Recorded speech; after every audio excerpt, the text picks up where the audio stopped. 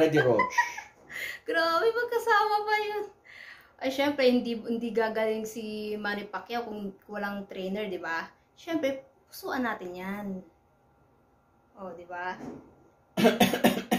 Excuse me po, Mike Enriquez. Nakakatawa na, kasama pa yun. si- Ay, hindi na siya umuubo. Nawala na yung ubo niya kasi nag, nagpa-opera na siya. Siyempre, ang galing niyang mag-newscaster, di ba? Lahat ng balita, binabalita niya. Excuse me po, pupusuan ko po yan. Dahil yan ay kapuso mo, Jessica.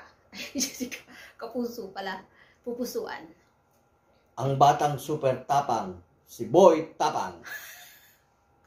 Naalala niyo to guys, ito yung lalaking na feature sa Jessica Soho, yung kumakain ng mga kung ano-ano mga insekto. Grabe no? Grabe yung tiyan niya. Hindi ba naapektuhan yung tiyan niya? Kung ano yung mga kinakain yung mga insekto. Pero guys, kung maririnig niyo yung istorya niya, kasi wala daw silang makain that time. Pero ngayon, sikat na siya, di ba? Si Boy Tapang. And, sa akin, pupusunan ko siya kasi titingnan ko yung tapang niya Behind closed doors, I'm a fool for your love.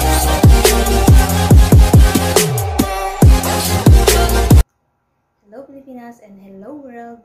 Welcome back again to my channel. And today's vlog is mag-game tayo. Guys, katuwaan lang po ito. Alam po natin na ang iba po dito sa gagawin ko is high profile. And ito po ay katuwaan lang, pampag good vibes lang po. Alam ko po yung iba po dito sa mababanggit ko ay may asawa na. Guys, don't take seriously po ah. Just for good vibes. Excuse me. Just for good vibes lang po ito. And meron, ang gagawin natin ngayon ay ang pupusuan o pupusunan. Okay, start na tayo. Question.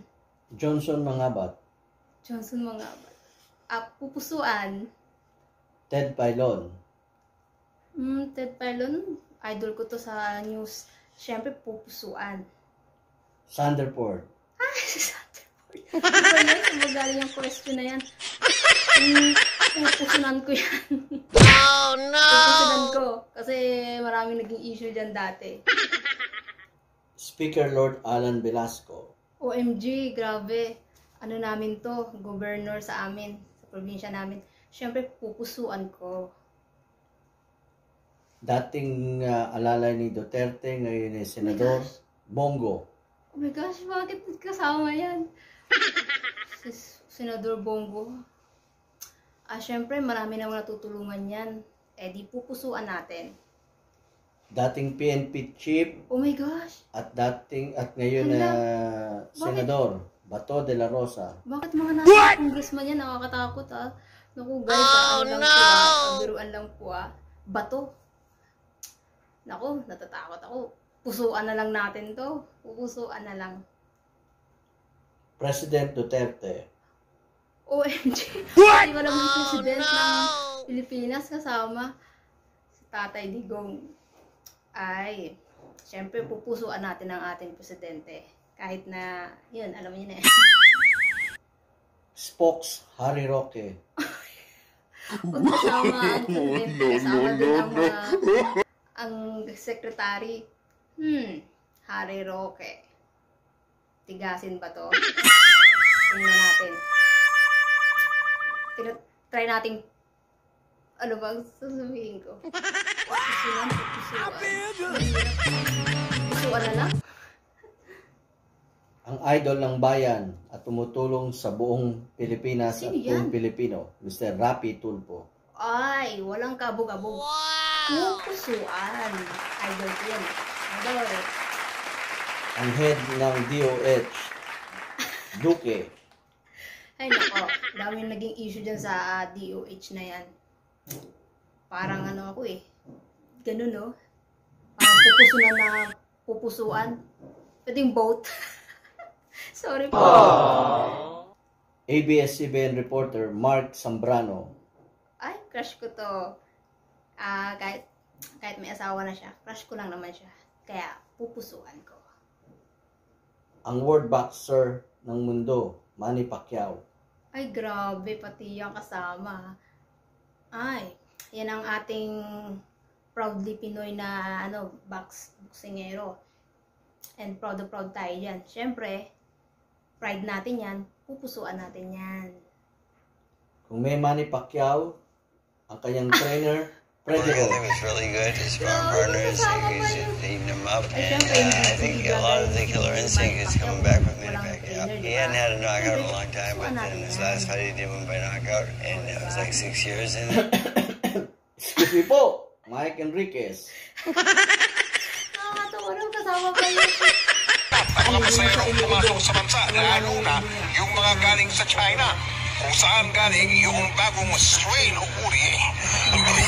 Excuse me po, Ah, hindi po yung coronavirus. Pupusuan ko po yan dahil yan ay kapuso mo, Jessica. Jessica, kapuso pala. Pupusuan. Ang batang super tapang, si Boy Tapang. Naalala niyo to guys, ito yung lalaking na feature sa Jessica Soho, yung kumakain ng mga kung ano-ano mga insekto. Grabe no? Grabe yung tiyan niya. Di ba naapektuhan yung tiyan niya? Kung ano yung mga kinakain yung mga insekto. Pero guys, kung maririnig niyo yung istorya niya, kasi wala daw silang makain that time. Pero ngayon, sikat na siya, di ba? Si Boy Tapang. And, sa akin, pupusunan ko siya kasi titingnan ko yung tapang niya sa pagkakain ng mga insekto. Pupusunan.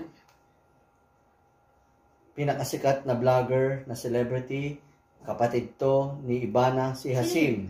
Hasim ba pangalan? I'm not sure ah, pero parang lagi ko sa kasi nakikita sa vlog ni Ivana, Hasim ata pangalan niya. Medyo cute siya kasi ang lalim ng dimple niya. So, pupusuan. At last, not but not but not what the least is yung bin. OMG! Alam niyo to ba guys, yung sa ano, ah, crash landing on you? Di ba ito, nakakakilig to, grabe yung love team ng Korean. Kung alam niyo yung Korean crash landing on you, si Yoon Bin.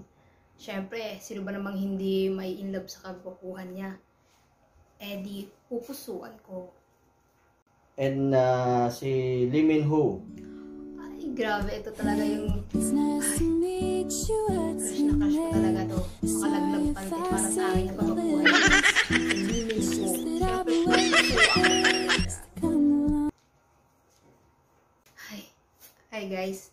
I hope ah Hi guys, yun lamang po at sana napatawa ko kayo sa araw na to. Guys, don't forget to like and share and comment kung may comment po kayo sa aking vlog. And huwag pong kakalimutan mag-subscribe sa aking channel, Filipinas World. Bye! Mabuhay! Thank you!